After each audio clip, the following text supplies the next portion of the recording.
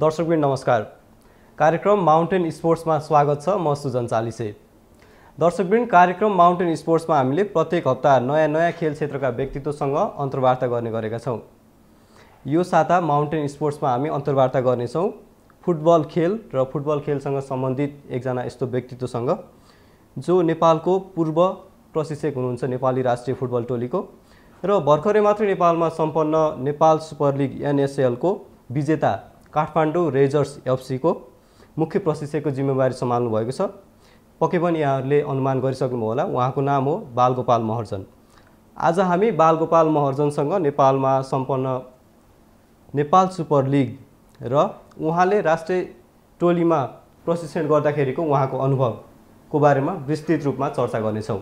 सर्वप्रथम उहाँलाई हाम्रो सोमा स्वागत गरौँ। सर स्वागत छ। धन्यवाद। के गर्दै हुनुहुन्छ आजकल? के गर्ने नि यस्तो महामारीको सङ्क्रमित कालमा बसिरहेको छु? अहिले जुन भर्खरै यो एनएसएल सुपर लिग सकिएको छ अहिले घरमै अब हामी रेस्टमा बसिरहेको छौँ। तपाईँले प्रशिक्षण गर्नुभएको काठमाडौँ रेजर्स एफसी ले पहिलो संस्करणको नेपाल सुपर लिगको उपाधि जितेको छ। हजुर। के भन्नुहुन्छ? धन्यवाद। अब हुन त सर्वप्रथम मैले विगतमा पनि धेरै यो नेपालको क्लबहरू हेर्ने मौका पाएँ तर लिगको टाइटल जिताउन मैले सफल भएको थिएन। होइन? तसर्थ यो यसमा प्रथम पटक भएको जुन ने, नेपाल सुपर लिगको जुन प्रथमचोटि नै जुन टाइटल जिताउन पाउँदाखेरि म अति नै खुसी छु गर्वबाट छु।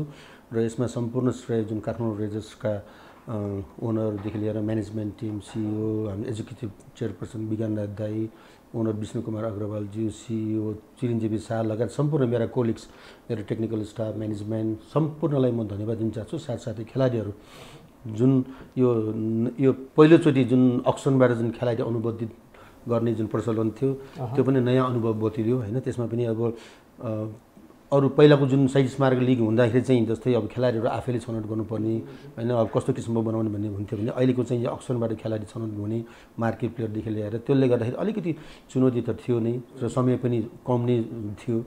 तसर्थ त्यसका बावजुद पनि अहिले यो नतिजा हासिल प्राप्त गर्दाखेरि चाहिँ जस खुसी लागिरहेको छ। सबै टिम मेम्बरहरूलाई तपाईँले धन्यवाद भनिरहँदाखेरि तपाईँको टोलीले उपाधि उचाल्नमा अनुभवी खेलाडीहरूको वर्चस्व रहेको टिम भनेर पनि विश्लेषण भइरहेको थियो। जस्तै राष्ट्रिय स्तरमा खेलिसक्नुभएका विकेश कुथु छिरिङ गुरुङ तेज तमाङ जस्ता खेलाडीहरू र विदेशी खेलाडीहरू पनि जस्तै मेसोको फ्लोरेन्ट कोरा जस्ता खेलाडीहरू रहँदाखेरि टिमलाई केही फाइदा पुगेको हो?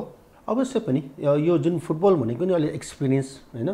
र अलिकति कन्फिडेन्स लेभल बिल्डअप भएको प्लेयरहरू खेलाउँदाखेरि चाहिँ केही हदसम्म चाहिँ राम्रो नतिजा आउँछ। त्यसको ज्वलन्त उदाहरण धेरै छ होइन? तसर्थ त्यसले गर्दाखेरि यो विदेशी यो जुन हुन त सातवटै फ्रेन्चाइज यो जुन टिममा चाहिँ सबैमा विदेशी सबैमा सबैमा इक्वेल प्लेयरहरू छ लोकल नेपाली प्लेयरहरू मैले भने नि तिन एकजना मार्की प्लेयर तिनजना ए क्याटेगोरीको र बीको पाँच छजना सीको पाँच छजना र अनि हिडन टार्गेटबाट दुईजना। त्यो सँगसँगै त्यो सँगसँगै एउटा फरेन विदेशी प्लेयरको पनि एकदमै महत्त्वपूर्ण हात हुन्छ होइन। त्यसमा चाहिँ त्यो कुन लेभलको कुन क्वालिटीको प्लेयर भन्ने रहन्छ।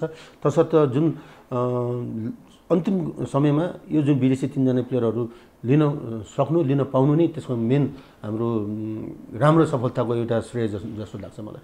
यो समग्र नेपाल सुपर लिग प्रतियोगितालाई एनालाइज गर्दाखेरि नेपाली खेलाडी भन्दा विदेशी खेलाडीको चाहिँ वर्चस्व रहेको भनेर विश्लेषण भइरहेको छ र हेर्दाखेरि पनि स्ट्याट्स हेर्दाखेरि पनि त्यही नै देखिन्छ।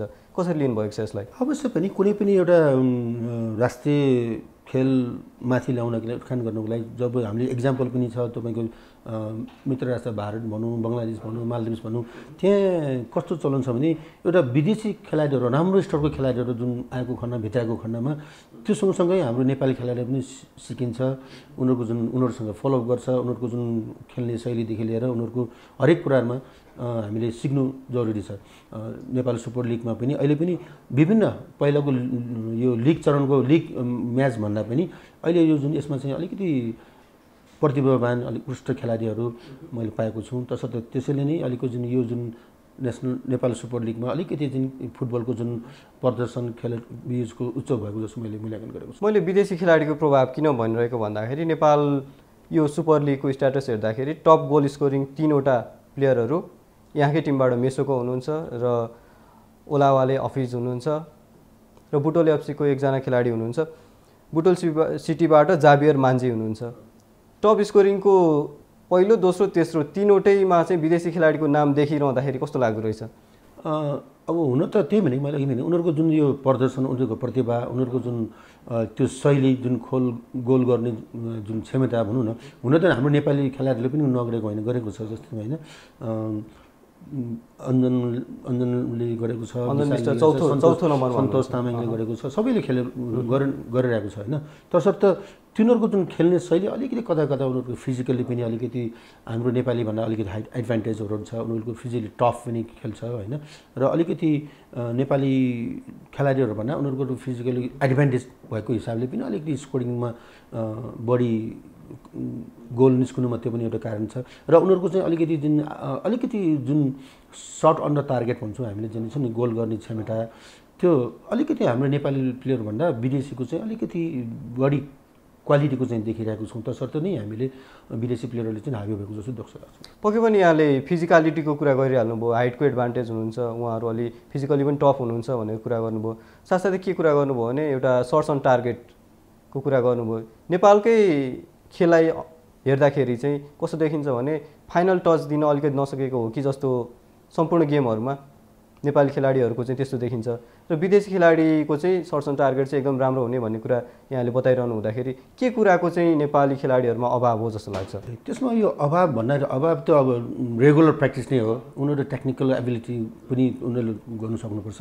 र ट्याक्टिकली एवेरनेसहरू पनि मैले भने नि जुन कुन चाहिँ अब एट्याकिङ थर्डको कुन चाहिँ पोजिसनमा छ बल पोजिसन छ र अपोनेन्टको जुन गोलकिपरहरू कस्तो छ अपोनेन्टको डिफेन्डरहरू कुन एरियामा छ कसरी बसिरहेछ त्यसलाई नै ग्राप गर्न सक्नुपर्ने हो मेन त्यसमा नै चुकिन्छौँ हामीले। एउटा टेक्निक र मेन्टालिटीको पनि एकदमै। एकदमै। अनि अर्को जो एउटा टाइमिङ एउटा एप्रोच भनौँ न त्यो एन्टिसिपेसन जुन त्यो जुन अब एट्याकिङ थर्डमा या अपोनेन्टको जुन पेनाल्टी भित्र या बाहिर त्यो ठाउँमा जुन एप्रोच गर्ने जस्तै टाइमिङमा फाइनलमा हेर्नुहोस् तपाईँको त्यो गोलको सिचुएसन हेर्नुहोस् होइन? इभन तपाईँको जुन विराटनगरको खेलमा जुन त्यो मेसुकोले गोल गरेको एप्रोचहरू हेर्नुहोस् होइन?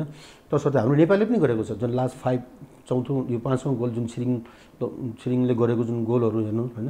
तसर्थ त्यसमा चाहिँ नेपाली भन्दा अलिकति विदेशीको चाहिँ अलिकति उनीहरूको जुन एन्टिसिपेसन एप्रोच टाइमिङ अलिकति क्वालिटीको उच्च स्तरीय रहेको छ। तसर्थ नै उनीहरू अलिकति हाबी भएको छ। समग्रमा हेर्दाखेरि विदेशी खेलाडीहरूको छायामा परेको जस्तो नेपाली खेलाडीहरू अब हुन त अब यता कता होइन कुनै सबै टिममा त भन्दिनँ म होइन कुनै कुनै टिममा त्यति त्यति प्रभावशाली नदेखेको टिम पनि छ। तर हो दुई चारवटा टिममा चाहिँ विदेशी खेलाडीहरू विशेष गरी तपाईँकै टिम काठमाडौँ रेजर्स र धनगढी। अब अफकोर्स त्यो पनि हो। र यता कता अब यो छोटो समयमा अझ विदेशी खेलाडीहरू पनि यो छोटो रेस रिकभरीको बावजुदमा पनि खेल्नु परेको अवस्थामा अझ हन्ड्रेड पर्सेन्ट नआइरहेको अवस्था चाहिँ मैले त्यसलाई मान्दछु। किनकि तपाईँको एउटा म्याचपछि अर्को म्याच खेल्नुपर्ने बाध्यता छ। धेरै नै कम ड्युरेसनको रिकभरी समयमा उनीहरूले फुल्ली रिकभरी भइरहेको अवस्था हुँदैन।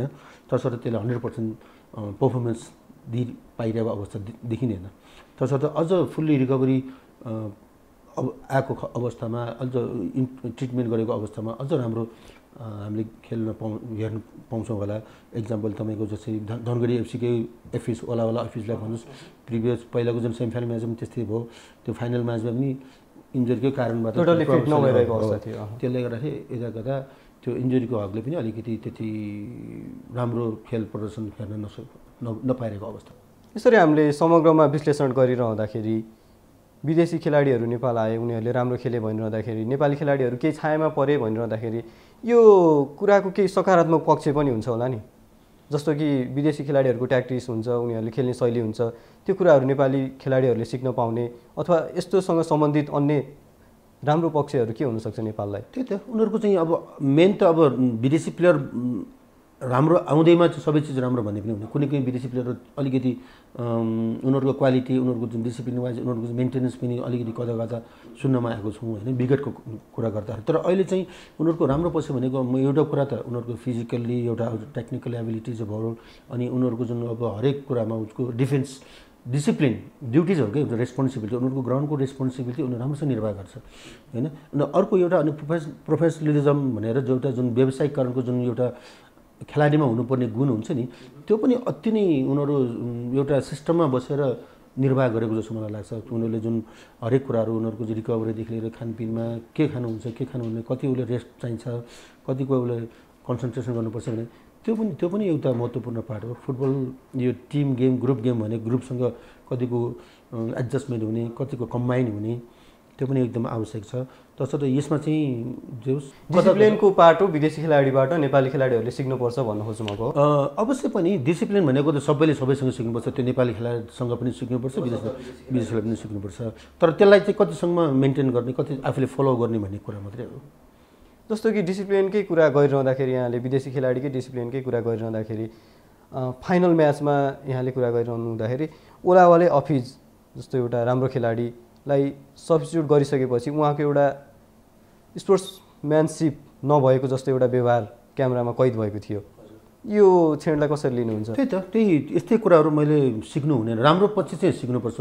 एज अ यो न्यू कमर्स युथ ट्यालेन्ट प्लेयरहरूले तर नराम्रो पक्षहरू यो हुन त अब कुनै कुनै चिजहरू मेरै प्लेयरले पनि त्यो एक्साइटिङ गर्दाखेरि गोल स्कोरिङ गोल गर्दाखेरि त्यो सेलिब्रेसनमा त्यो पनि त्यो, भएर त्यो पनि कजन एलोकार खाएको छ।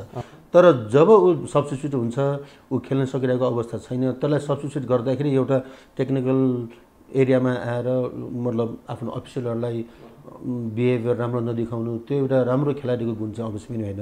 त्यस्तो कुराहरू चाहिँ हामीले एकदमै ध्यान दिन आवश्यक छ नेपाली खेलाडीहरूले। त्यस्तो चिज गऱ्यो त्यो चिज सिक्यो भने त्यस्तै नराम्रो हामीले कुराहरू सिक्छौँ। त्यसले चाहिँ कदापि पनि भविष्यमा राम्रो हुँदैन होइन? किनभने आफ्नै व्यक्तिगत आफूलाई त घाटा छनै छ बेफाइदा छनै छ। तर त्यसले पनि अझ टिम देशकै प्रतिनिधित्व गर्नु देशलाई घाटा हुन्छ। यो चिजमा चाहिँ ध्यान पुऱ्याउनु आवश्यक छ। जस्तै यो डिसिप्लिनरी इस्युकै कुराकानी गर्दाखेरि नेपाली खेलाडीहरूले पनि फिल्डभन्दा बाहिर फिल्डभित्र भन्दा पनि फिल्डभन्दा बाहिर चाहिँ डिसिप्लिनरी इस्युले विगतमा पनि समस्याहरू आइरहेको र त्यही समस्याकै कारण कति खेलाडीहरू टिम बाहिर पर्नु परेको अवस्था पनि छ नि। कसरी सुधार गर्नुपर्छ यो पक्षलाई जस्तो लाग्छ? यसमा चाहिँ त्यही त यता कता त्यो घटना भएको पनि हो सुन्न पनि आएको छ होइन? त्यसको लागि अब निर्धारण पनि भइसकेको छ होइन? अब कतिपय प्लेयरहरूलाई कति त्यसलाई सस्पेन्सन गरिदिने कारवाही गरिदिने ऊ त्यो खेल्न नपाएर उसलाई कति घाटा बिहोर्नु पऱ्यो भन्ने कुरा खेलाडी स्वयं आफूहरूले नै स्वीकारेको अवस्था छ। तसर्थ यस्तो चिजहरू गर्नु हुँदैन भन्ने कुराहरू अबको दिनमा अब त्यसको जुन सम्बन्धित निकाय एन्फाले पनि एकदमै एन्फा राष्ट्रिय खेलकुद परिषद या खेलकुद मन्त्रालय मार्फत पनि कडा से कडा भन्दा कारवाही गरेको अवस्था छ। तसर्थ आइन्दा त्यस्तो चिज चाहिँ गर्ला जस्तो मलाई लाग्दैन। यता कता अब सानोतिनो माइनर मिस्टेकहरू चाहिँ गेमकै दौरानमा होला। त्यसलाई यही एनएसएलकै कुरा गर्दाखेरि पनि व्यक्तिगत प्लेयरको रूपमा भन्दा पनि एनएसएलकै प्ले कुरा गर्दाखेरि चाहिँ एउटा टिम नै मैले नाम खुलाउन चाहिने। एउटा टिमले नै रेफ्रीको गलत निर्णय भनेर खेल नै छोडेर गएको अवस्था थियो नि। हजुर हजुर।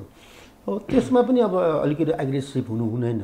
हो ठिक छ आफ्नो ठाउँमा छ। हाम्रो रेफ्रीहरूको जुन निर्णयमा कथम अलिकति यता भयो होला केही कचम गल्तीहरू हुनसक्छ त्रुटिहरू हुनसक्छ हामी मानवले गर्ने हो इररहरू हुनसक्छ।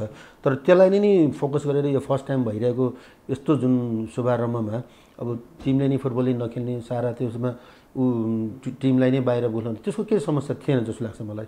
तर अब हुनसक्छ त्यसमा पनि एउटा उदाहरण दिन सक्छु होइन? त्यो एकजना अँ, पेद्रो मान्जी एउटा स्पेनको जुन खेलाडी उहाँको विदेशी खेलाडी उहाँले एउटा स्पोर्ट्सम्यानसिप बिहेभियर एउटा राम्रो खेलाडीको जुन दर्जा दिनुभएको छ त्यसको साथसाथै हाम्रो नेपाली पछि खेलाडीहरू पनि भित्र गएको अवस्था छ।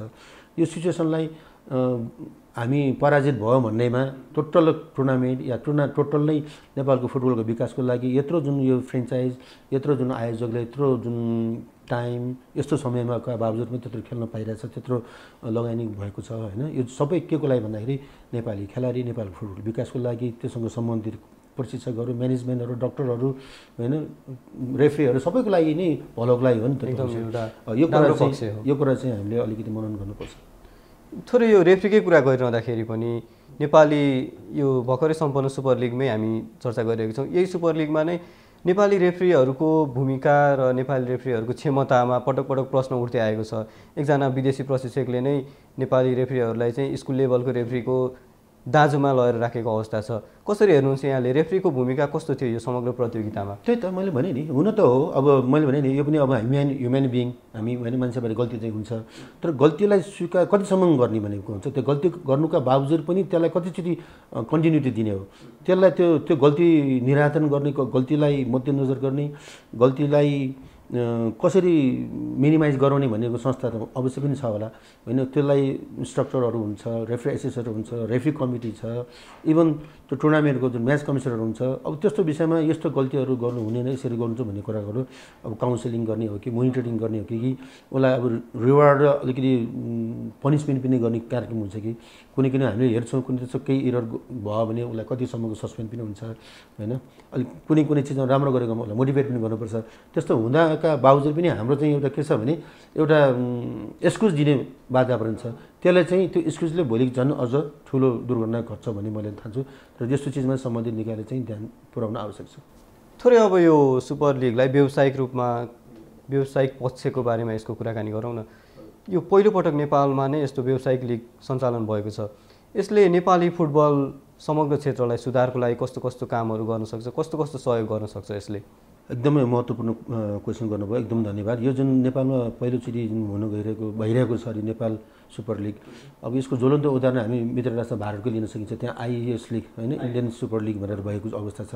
तर त्यहाँको कति एउटा एउटा बिग युज होइन फुटबलको डेभलपमेन्टको आफ्नो ठाउँमा छनै छ। त्यसको साथसाथै यो कम्युनिटी डेभलप यो राष्ट्र नै एउटा डेभलप भएको जस्तो मलाई लाग्छ। किनभने त्यहाँ ठु ठुलो देश छ होइन त्यो भारत भनेको। त्यसकै नै नेपालमा पनि अलिकति भए पनि सुरुवात गरौँ भन्ने सुरुवात गरेको छ। त्यसले चाहिँ मलाई जहाँसम्म लाग्छ। भविष्यमा नेपाली फुटबल विकासको लागि धेरै नै उच्च मान्य राख्छ मूल्य राख्छ। किनकि अहिले यो जुन सातवटा अहिले त यसमा सातवटा सहभागी टिम होइन जुन व्यवसायिक उहाँहरूले चाहिँ इन्ट्रेस्ट दिनुपर्छ अब भविष्यमा चाहिँ मैले दसवटा गर्छु भनेर सुनेको थिएँ। तर यसले गर्दाखेरि अझ एउटा कम्पिटेटिभ एउटा राम्रो टिम बनाउनु पर्ने राम्रो खेलाडी छान्नुपर्ने होइन राम्रो विकास गर्नुपर्ने सबैको त्यो मूल्य मान्यता रहन्छ। तसर्थ यसमा अब तपाईँको अब टिभी च्यानल मिडियाहरूदेखि लिएर अरू मिडियाहरूले पनि धेरै कभर कभरेजहरू गरिदिएको छ। भविष्यमा अझ राम्रो हुने भन्ने मैले आश्वासन लिएको छु। र सम्पूर्ण यो जुन जति पनि यो अहिले सातवटा टिमका जुन ओनरहरू हुन्छ उहाँले जुन एकदमै यो प्रथमपटक भएको तापनि राम्रोसँग टिमलाई ह्यान्डल गर्ने हिसाबले राम्रो जुन लगानी गर्नुभएको छ राम्रो इन्ट्रेस्ट देखाउनु भएको छ उहाँ उहाँहरू सबैप्रति म आभार व्यक्त गर्न चाहन्छु। स्पेसल भन्दाखेरि मेरो आफ्नो काठमाडौँ रेजर्सको जुन ओनर विष्णु कुमार अग्रवालजी उहाँ विगतदेखि नै फुटबलमा धेरै नै इन्ट्रेस्ट र योगदान पनि गरिराख्नु भएको हो होइन? तसर्थ उहाँ इन्टायर टिम यामा ग्रुप भनौँ त्यसको अरू हाम्रो विज्ञान राज शर्माज्यू उहाँ एक्जिक्युटिभ चेयरपर्सन हुनुहुन्छ सिइओ चिर चिरञ्जीवी शाह लगायत मेरा टेक्निकल स्टाफहरू सबैले राम्रोसँग निर्वाह गरेको छु। आशा छ भविष्यमा पनि यसरी नै निरन्तरता गरेको खण्डमा अझ नेपाली फुटबलको विकास राम्रो सफलता प्राप्त हुन्छ। र अलिकति मैले भन्नु खोजेको यो यसको साथसाथै अलिकति यो जुन यो सिस्टममा अलिकति परिमार्जन गर्न आवश्यक छ र इन्फ्रास्ट्रक्चरहरू भनौँ न ग्राउन्डको कन्डिसनहरूदेखि ओके भने इन्फ्रास्ट्रक्चरकै कुराकानी गर्दाखेरि चाहिँ सातवटा टिम छ नेपालको सबै क्षेत्रको प्रतिनिधित्व गर्ने गरी। र सातवटा टिमको होम अवे अथवा जे भनौँ सबै म्याच चाहिँ एउटै रङ्गशाला जस्तो रङ्गशालामा खेल्नुपर्ने अवस्था छ। यो अलिकति दुःख लाग्दो कुरा होइन नेपाली फुटबलको लागि। त्यही मैले भने नि त्यो इन्फ्रास्ट्रक्चर पहिलो पटक भइरहेको अवस्था यो पनि यो यो यस्तो जुन पेन्डेमिक कोभिडको सिचुएसन बेलामा चाहिँ यो हुनु एउटा राम्रो पक्ष हो राम्रो पक्ष हो। हुन त गभर्मेन्टले यति अथोरिटी दिनु पनि गभर्मेन्टप्रति धेरै नै धन्यवाद दिन चाहनु पर्छ। किनभने यस्तो हुलमुल गर्नु तर एकदमै सेफ्टी सबै चिज त्यसलाई स्वास्थ्य मापदण्ड अप्नाएको छौँ सबै चिज गरेर सफलता भयो त्यो एकदम स्वागतयोग्य कुरा हो। तर भविष्यमा चाहिँ यसरी चाहिँ भनौँ न यो अब सातवटा ठाउँ दसवटा होला। भोलिको दिनमा होम एन्ड अवे सिस्टम राम्रो तरिकाले गयो भने अझ यो काठमाडौँको जन काठमाडौँ मात्रै होइन कि त्यहाँ पनि राम्रोसँग त्यो माहौल राम्रोसँग त्यो सक्सेस हो डेभलप होस् त्यहाँको इन्फ्रास्ट्रक्चरहरूदेखि लिएर हरेक कुराहरूमा त्यो भएको खण्डमा अझ राम्रो हुन्छ जस्तो मलाई लाग्छ। एनएसएल हुँदाखेरि यो जुन व्यवस्थापनको पक्ष छ नि व्यवस्थापन पक्ष आर्थिक व्यवस्थापन भनौँ अझै यो अक्सनको माध्यमबाट खेलाडीहरू छनौट प्रक्रिया र तपाईँ त एउटा म्यानेजर भएर अथवा टिम कोच भएरै काम गरिसक्नु भएको हुनाले व्यवस्थापनको पाटोलाई कसरी हेर्नुहुन्छ? यो एनएसएलको सम्पूर्ण प्रतियोगिता। यो एकदमै ज्वलन्त उदाहरण छ। यसपालिको जुन यो एनएसएलमा म्यानेजमेन्ट पक्ष सबैतिर राम्रो नै देखेको छौँ होइन? राम्रो नै प्रभावशाली भएको छ होइन? एक्सपिरियन्स व्यक्तित्वहरूले जुन यो गर्नुभएको छ। तसर्थ यो जुन अक्सनको कुरा गर्नुभयो तपाईँले कुन सबै टिमलाई जुन अक्सनबाट खेलाडी अनुबन्धित गर्नुपर्ने होइन? अब कुन हुनसक्छ तिनजना? अब सबैले राम्रो खेलाडीले आफू आफूले भित्राउन चाहन्छ र कुनै अब लकी ड्र मार्फत पनि पढेको नेपाली। फुटबलको क्षेत्रमा यो पहिलो अनुभव होइन। पहिले अनुभव भयो। तर तसर्थ यो भनौँ न मैले यो प्लेयरलाई म चुज गर्छु भनेर त्यो पाउँदैन त्यसर्थ त्यसमा अक्सनबाट या लकी ड्र मार्फत पनि पाउनुपर्ने अवस्थाहरू भएको हुनाले यो नयाँ अनुभव चाहिँ रह्यो। तर त्यसका बावजुद पनि ए क्याटेगोरीको तिनजना मार्की प्लेयर एकजना बीको पाँच छजना सीको पाँचजना पाँच छजना र हिडन टार्गेटबाट दुईजना प्लेयरको सम्मिश्रणलाई त्यसलाई नै कसरी मोडिफाई गर्ने कसरी टिम तयार गर्ने भन्ने त्यो एउटा चुनौतीको बाटो थियो। एकदम सर्ट पिरियडमा पनि होइन अस्ति थ्री नेसन कप भइरहेको अवस्था थियो। त्यो सकिसकेपछि फेरि नेपालकै त्रिभुवन आर्मी क्लबको एएफसी कप खेल्न बाहिर गइरहेको अवस्था त्यसमा पनि आबद्ध खेलाएर थियो र अर्को कुरा मोप्सलका टुर्नामेन्टहरूमा खेल्न गइरहेको अवस्था थियो विराटनगर पोखरा। त्यो खेलाडीहरू सबै अब जस्तै यो यो नेपाल सुपर लिगको सातवटा टिममा आबद्ध भइसके तापनि त्यो प्लेयरहरू हाम्रो नेपालको विभागीय क्लब र अर्को आयोजक क्लबहरूसँग आबद्ध भएर खेलिरहेको अवस्था गर्दाखेरि त्यति समय चाहिँ पर्याप्त मात्रा थिएन। तापनि अन्तत गत यो यति छोटो समयमा पनि हामीले टिम तयारी गर्नुको लागि हामीले सफल भयौँ। सुरुमा उन्नाइस सय त्रियानब्बेको सागमा तपाईँले राष्ट्रिय टिममा एज अ खेलाडी खेलाडीको रूपमा सागमा गोल्ड जित्नुभयो। खेलाडी सक्रिय खेल जीवनबाट सन्यास लिइसकेपछि प्रशिक्षणमा लाग्नुभयो नेपाली टिमको। र प्रशिक्षणमा लागेर सन् दुई हजार पन्ध्रमा यु नाइन्टिन साफ च्याम्पियनसिप दुई हजार सोह्रमा बङ्गबन्धु कप र त्यसै गरी अब पछिल्लो कुरा गर्दाखेरि ट्राइनेसन्स कप। नेपालले धेरै वर्षपछि नेपालमै उपाधि रक्षा गर्न सफल भएको कप। यो सम्पूर्ण अनुभवलाई समेट्दाखेरि आफ्नो उपलब्धि नेपाली टिममा कसरी निहाल्नुहुन्छ? एकदम धन्यवाद। तपाईँले यो जुन मेरो सफलताको जुन अलिकति केही कुरा राखिदिनु भएकोमा हो उन्नाइस सौ तिरानब्बेमा त्यो बेलामा एउटा मैले देशको प्रतिनिधित्व गरेर मैले एउटा गोल्ड मेडल जित्ने मौका पाएको छु। त्यो फुटबलले मात्रै एउटै मात्रै गोल्ड मेडल त्यो उन्नाइस सौ तिरानब्बेमा ढाकामा भएको टुर्नामेन्टमा छैठौँ साफ गेममा। त्यो एकदमै यो एउटा एकदमै अविस्मरणीय क्षण भन्छु म। नेपालको राष्ट्रिय धुन बजेको नेपाली फुटबलको जो त्यही एउटा गोल्ड मेडलले हो नत्र त त्यो छैटौँ साफ गेममा नेपालको राष्ट्रिय धुन नै बज्ने थिएन होला त्यो ठाउँमा। तर अन्ततको त हामीले त्यो पनि एउटा राम्रो सफलता प्राप्त गऱ्यौँ। त्यसको बावजुद पनि पछिल्लो समय पनि म खेल्दाखेरि नै नेपालमै उन्नाइस सौ उनान्सयमा नाइन्टिन नाइन्टिनमा आठौँ साफ गेममा पनि हामीले फाइनलमा खेलेको थियो। त्यसमा रजतमै चित्त बुझाउनु पऱ्यो। रजतमा चित्त बुझाउनु परेको त्यो पनि एउटा राम्रो थियो।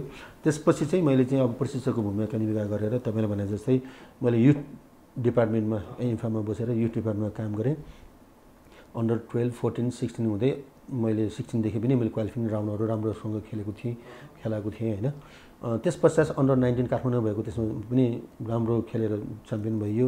त्यसपछि अब बङ्गबन्धु भन्नुहोस् तपाईँको यो तेह्रौँ साग गेम्स बाह्रौँ बाह्रौँ साग गेम मात्रै होइन त्यसपछि नेपाली फुटबलले प्रगति एउटा उन्नति एउटा सफलता प्राप्त गरेको एउटा विजय प्राप्त गरेको अवस्था रह्यो। अनि तेह्रौँ साग गेम काठमाडौँमा भएको तेह्रौँ साग गेम भयो अस्ति भर्खर थ्री नेसनमा भयो। त्यो सम्पूर्णको गर्दाखेरि एउटा टिममा एउटा म्यानेजमेन्ट होइन हरेक कुराहरू। मैले भने नि खेलाडीलाई कसरी त्यसलाई परिचालन गर्ने? इभन त्यो विपक्षीको रणनीति कस्तो रह्यो विपक्षी खेलाडीहरूको कस्तो रह्यो त्यो सबै कुराहरू मूल्याङ्कन गर्नु आवश्यक छ होइन? त्यसलाई एनालाइसिस गर्नु आवश्यक छ।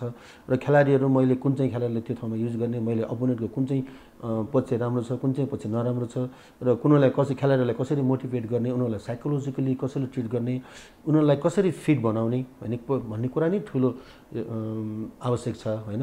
अनि अर्को कुरा मैले बारम्बार भन्ने गरेको छु अनि अलिकति फेसिलिटिज कुराहरू होइन? उनीहरूको एभ्रिथिङ के?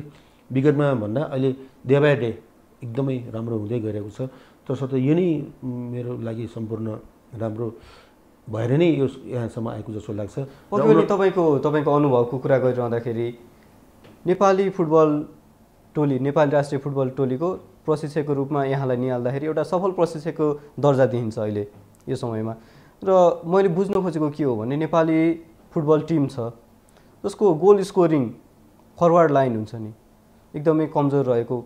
कति पटक पटक पटक यहाँ खेलाडी हुँदाखेरि अथवा यहाँ प्रशिक्षक भइसक्दाखेरिको अवस्थामा पनि कतिपटक नेपालले गोलको खडेरी बिहोर्नु परेको सर्टेन गेमको लागि पाँच छ सात गेमको लागि गोलको खडेरी र पछिल्लो पटक नै ट्राइनेसन्स कपकै कुरा गर्दाखेरि पनि नेपाल एक गोल पनि नगरिकन फाइनलसम्म पुगेको अवस्था थियो। यो गोलको खडेरी हुनु गोल गर्न नसक्नुको कारण के होला? कुनै कुनै यस्तो हुन्छ। यो अहिले त्यो ट्राइनेसन कपमा चाहिँ लास्टमा फाइनल गोल नगरेर फाइनलमा चाहिँ मात्रै गोल भयो होइन। तसर्थ त्योभन्दा अगाडिको मैले कुरा चाहन्छु विगतमा हो तपाईँले भनेको छ पाँच छ वर्ष अगाडि त्यो गोल नभए। जब अन्डर नाइन्टिन जितेर बङ्गबन्धु गइसकेपछि मैले जुन टिम नेतृत्व लिइसकेपछि त्यो बेलामा चाहिँ फोकस चाहिँ हामीले जहिले पनि त्यो बेलामा मैले पनि एउटा एनालाइसिस गरेको थिएँ। नेपालले जहिले पनि जुनसुकै टिमसँग खेल्छ सेभेन्टी एट्टी नाइन्टी मिनटसम्म खेल्छ र लास्ट फाइभ टेन मिनटमा हामीले जहिले पनि एक गोल या दुई गोल खाएर पराजित भएको अवस्था भइरहेको अवस्था छ। र जब मैले मेरो टिमसँग मेरो टेक्निकल साथीहरूसँग मैले सल्लाह गरेकन हामीले गोल गर्नको लागि एट्याकिङ ठाउँमा बढी हामीले वर्कआउट गर्नुपर्छ काम गर्नुपर्छ र एट्याकर प्लेयरहरूलाई बढी त्यसमा कन्सन्ट्रेसन गर्नुपर्छ भन्दै त्यो बङ्गबन्धु कपमा त्यहाँ बसुन्जेल त्योभन्दा अगाडिको म त्यो धेरै नै फोकस गऱ्यौँ त्यसमा। कन्सन्ट्रेसन गऱ्यौँ खेलाडीहरूलाई मोटिभेट गऱ्यौँ खेलाडीहरूलाई त्यो पार्टमा बढी कन्सन्ट्रेसन गऱ्यौँ। त्यसपछि मैले भनौँ न सुरुवातदेखि सेमी फाइनल भनौँ लिग चरणको भनौँ मालदिप्स जस्तो बरेन जस्तो होइन बङ्गलादेश जस्तो टिमलाई पनि लगभग दुई तिन चार गोलको मार्जिनमा गोल गर्न सफल भयो। र त्यसको नै कन्टिन्युटी अनि त्यसपछि के भयो? खेलाडीहरूमा पनि मोटिभेट भयो। उनीहरूले पनि ए हामीले त सक्दो रहेछ त कन्फिडेन्स बिल्डअप गरेपछि। र आफूभन्दा अलिकति बेटर अप्सनहरू कम्बिनेसन प्ले भन्छौँ। राम्रो पोजिसनको साथीहरूलाई बल पास डेलिभर गरिदिएकोमा गोलहरू निस्किनु रहेछ भन्ने कुरा त्यो पनि एउटा टिमवर्कमा त्यो अति नै आवश्यक रहेछ। तसर्थ यो नै हो हामीले गर्नु पछिल्लो समय गोलहरू निस्किरहेको अवस्था। त्यसपछि सात गेम भन्नुहोस् बाह्रौँ सात गेम गुवाहाटीमा भएको बाह्रौँ गेम त्यसमा पनि हेर्नुहोस् तपाईँको सेमी फाइनलमा त्यत्रो गोलहरू निस्क्यो फाइनलमा गोलहरू निस्क्यो। त्यसपछि तपाईँको नेपालमा भएको तेह्रौँ गेममा पनि गोलहरू त राम्रो निस्क्यो नि। तर अब अस्तिको जुन ट्रेनेसन कपमा अलिकति स्टार्टिङमा हामीले गोल गर्न सफल भएनौँ। तर एउटा ट्याक्टिस हामीले गोल नगरे तापनि गोल नखानु हाम्रो एउटा लक्ष्य थियो क्वालिफाइड गर्नु आवश्यक थियो। तर फाइनलमा त गोल गर्दैन गोल नगरे त जित्दैन ट्रफी जित्दैन। तर त्यसमा चाहिँ हामीले थोरै यो टिममा असन्तुलन जस्तो पनि पैदा भएको किनभने नेपाली राष्ट्रिय टिमबाट पनि विदेशको लिगहरूमा गएर खेल्ने खेलाडीहरू हुनुहुन्छ किरण हुनुहुन्छ। रोहित हुनुहुन्छ अभिषेक हुनुहुन्छ। उहाँहरू अब माथिल्लो लेभलको प्लेयर ठुलो लेभलको प्लेयरहरूसँग खेलिरहँदाखेरि नेपालमा आएर खेल्दाखेरि अलिकति त्यो लेभलको डिफ्रेन्स देखिएको हो र? त्यो लेभलको डिफ्रेन्स देख्नुमा उहाँहरू स्वयं आफैलाई पनि हुन्छ। कता कता अब त्यो जुन कुन जस्तो अवश्य पनि रोहित सन्तुलनको आवश्यकता हुन्छ। अब रोहितको खेलिरहेको देश उनीहरूको जुन लेभल उनीहरूको जुन लेगको स्ट्यान्डर्ड र नेपालको स्ट्यान्डर्ड त अवश्य पनि फरकमा फरक। छ नि छ त्यसमा चाहिँ त्यो स्वाभाविक हो। तर इन्डिया र बङ्गलादेशको हकमा हेर्नु भने अहिलेको करेन्टली चाहिँ इन्डियामा पनि धेरै नै राम्रो प्रोफेसनल भइसकेको छ। उनीहरूको लोकल प्लेयरहरू पनि धेरै नै उनीहरूको माथिको लेभलमा पुगिसकेको अवस्था छ होइन? किनकि त्यहाँको त्यो जुन कन्टिन्युटी के त्यहाँको त्यो व्यावसायिकीकरण त्यहाँको जुन फरेन प्लेयरहरूसँग जुन जुन कम्बाइन भएर खेल्ने उनीहरूसँग सिक्ने त्यसलाई गर्दाखेरि के हदसम्म चाहिँ लेभलमा तलमाथि देखेको हुनुपर्छ। सायद त्यो बाहेकको चाहिँ अरू जुन नेपाली खेलाडीले जुन खेलिरहेको अवस्था छ जस्तै साउथ एसियासँग खेलिरहेको अवस्था अस्ति श्रीलङ्कासँग पनि खेल्यो मालिप्सहरूसँग पनि खेलिरहेछ खासै त्यति भिन्नता चाहिँ छैन उन्नाइस विषय हो। हामीले पनि अपर्च्युनिटीहरू पाइरहेको छौँ हामी गोलहरू पनि स्कोर निस्किरहेको छौँ रिजल्ट पनि आइरहेको अवस्था नै छ। यसरी हेर्दाखेरि समग्रमा अब नेपालमा पनि यो व्यावसायिक लिगहरूको सुरुवात भइरहेको छ। नेपाली फुटबल कहाँसम्म पुग्न सक्छ जस्तो लाग्छ? नेपाली फुटबलको गन्तव्य लक्ष्य के हो? अब गन्तव्य लक्ष्य नै यही नै भन्न चाहिँ एकिनका साथ गाह्रो छ? त्यो पनि एउटा अनुमानको हिसाबमा यहाँसम्म हामी पुग्न सक्छौँ भन्ने। अवश्य पनि विगतको हाम्रो नतिजा हेर्ने हो भने यो South Asian game SAG game त भइहाल्यो। त्यसमा चाहिँ अब त्यसमा चाहिँ अब एज बार पनि छ त्यसमा twenty three plus three senior national player खेल्न पाउने प्रावधान छ। र हामीले अहिलेसम्म हामीले एचिभ गर्न नसकेको साफ च्याम्पियनसिप हो। साउथ एसियाको सिनियर टिमले खेल्ने भनेको साफ च्याम्पियनसिप त्यसकोमा नै हामीले फोकस गर्नुपर्छ। त्यसमा पनि मैले नै नेतृत्व गरेको टिममा दुई टु थाउजन्ड एटिनमा साफ च्याम्पियनसिपमा सेमी फाइनलमै पराजित हुनु पऱ्यो त्यसमै नै हामीले त्यो फोकस कन्सन्ट्रेसन गर्नुपर्छ। र अर्को कुरा भनेको अब वर्ल्ड कप क्वालिफाइङ राउन्डमा अब कुन लेभलसम्म हामीले पुग्ने हो ट्राई गर्ने हो सेकेन्ड लेभलसम्म र एसियन क्वालिफाइङ राउन्डमा पनि हामीले सेकेन्ड राउन्डसम्म पुग्ने हो। यी नै कुराहरू हो। त्यसको लागि चाहिँ हामीले मैले भने नि यसमा इन्फ्रास्ट्रक्चरहरू प्रोग्रामहरू होइन लन्चिङ गर्नुपर्छ। त्यो गरेको खण्डमा चाहिँ सफलता पाउँछ जस्तो लाग्छ। सो मैले अन्त्यमा एउटा बुझ्न चाहेको कुरा के हो भने तपाईँले प्रशिक्षण गरिरहनु भएको थियो एज अ कोच तपाईँले जिम्मेवारी लिइरहनु भएको थियो र दुई महिना अगाडि करिब दुई महिना अगाडि नेपाली राष्ट्रिय फुटबल टोलीको प्रशिक्षकको रूपमा अब्दुल्ला अल्मुताइरीलाई ल्याइएको छ। कसरी लिनुभएको छ यसलाई? उहाँलाई अब यस्तो छ यो एउटा एउटा प्रोसेस नै हो एउटा होइन। कुनै पनि राष्ट्रिय टिम हेर्न पाउने अधिकार होइन पाउनुपर्ने उसको डिप्लोमा त्यो पनि हुन्छ। हो अवश्य पनि नेपालमा एएफसी प्रो भएको नेपालमा अहिले कोही पनि छैन। त्यो अनुसार नै नि अलि एएफसी प्रो भएको व्यक्ति नै नेसनल टिम हेर्न पाउने त्यो जुन प्रावधान रहेको हुनाले उहाँले ल्याएको हो। त्यसमा त्यसमा अरू केही मैले भन्नु छैन। उहाँलाई दिएको छ। सफलताको लागि शुभकामना दिन चाहन्छु। आगामी नेपाली राष्ट्रिय फुटबल टिमले राम्रोसँग सफलता पाओस् राम्रो नतिजा ल्याउन पाओस्। त्यही नै हो मेरो लक्ष्य भनेको। हस् माउन्टेन टेलिभिजनमा समय दिनुभयो। संवादको लागि धन्यवाद। एकदमै धन्यवाद। मलाई पनि यहाँ बोलाइकन केही कुरा राख्ने मौका दिनुभएको छ। यस्तो परिस्थितिमा पनि कोभिडको सिजनहरू झन् डे बाई डे राम्रो इन्क्रिज हुँदै जान्छ होइन बिरामीहरू। तसर्थ सुरक्षित रहनु होला समेत दिनु होला आफूलाई आफूलाई एकदमै कन्ट्रोल गरिदिनु होला धन्यवाद। दर्शकबिन माउन्टेन स्पोर्ट्समा आज हामीले कुरा गऱ्यौँ। नेपाली राष्ट्रिय फुटबल टोलीका पूर्व प्रशिक्षक र भर्खरै मात्र नेपालमा सम्पन्न नेपाल सुपर लिगको विजेता। काठमाडौँ रेजर्स एफसीका मुख्य प्रशिक्षक बालगोपाल महर्जनसँग। आगामी हप्ता नयाँ व्यक्तित्वसँग रोचक संवाद गर्ने बाचासहित म कार्यक्रम प्रस्तुता सुजन चालिसे माउन्टेन स्पोर्ट्सबाट बिदा चाहन्छु। हेर्दै रहनुहोला माउन्टेन टेलिभिजन एचडी नमस्कार।